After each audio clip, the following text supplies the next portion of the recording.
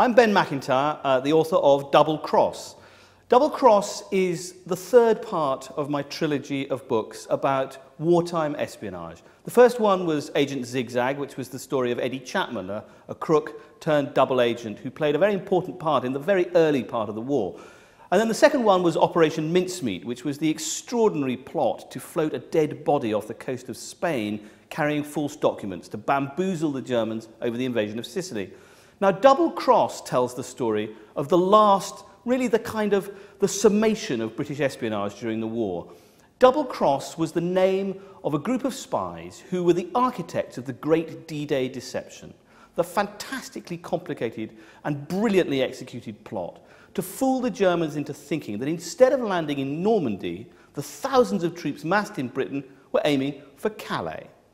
The double cross team was, without question, the most extraordinary unit assembled during the Second World War.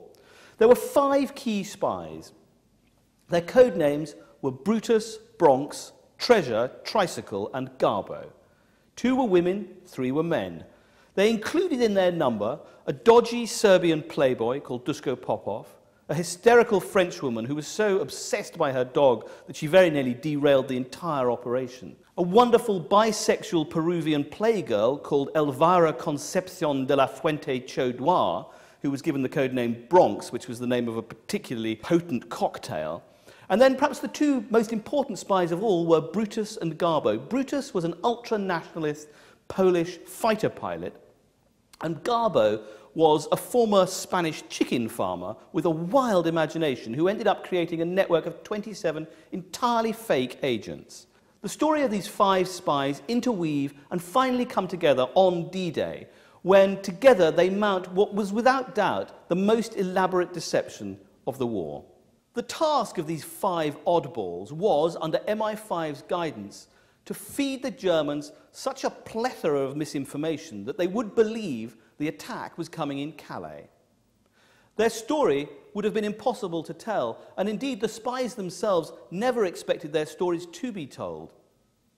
But very recently, MI5 has begun to release the entire archive of the double cross system, and it makes for an extraordinary story.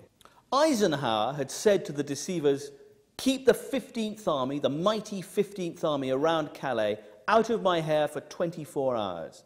In fact, the five D-Day spies succeeded in doing far more than that. They managed to bottle up huge numbers of German forces away from the main battlefield for weeks after D-Day. It was an astounding success. Even Kim Philby, who was then working in MI6, described it as the most successful deception operation of all time.